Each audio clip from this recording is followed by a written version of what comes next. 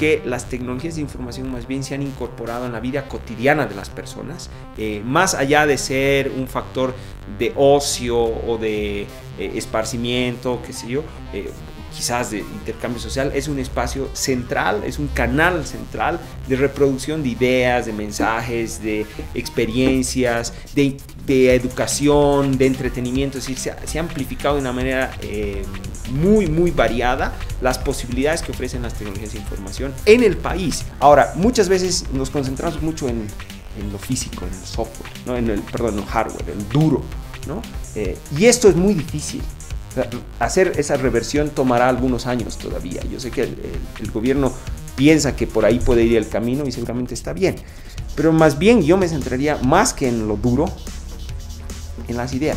Sabemos que tenemos eh, una baja velocidad de ancho de banda, que no es una conexión estable, sabemos que la penetración del uso de Internet por cada 100 habitantes es bajo en relación a otros países de la región.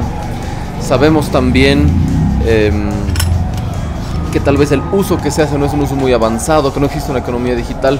El otro tema es el de, del precio. En promedio le, a un boliviano le costaría el, aproximadamente el 30% del salario mínimo vital.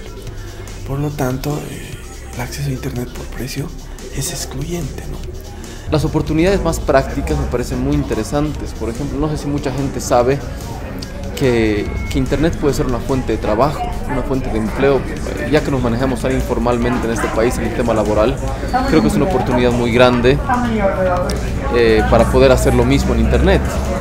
Entonces hay que plantear eh, políticas públicas para que todos los bolivianos tengan acceso a este Internet de calidad y sea una oportunidad de desarrollo, ¿no?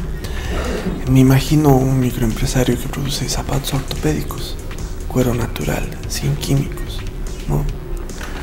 y que pueda venderle a un empresario que esté en Europa, ¿no?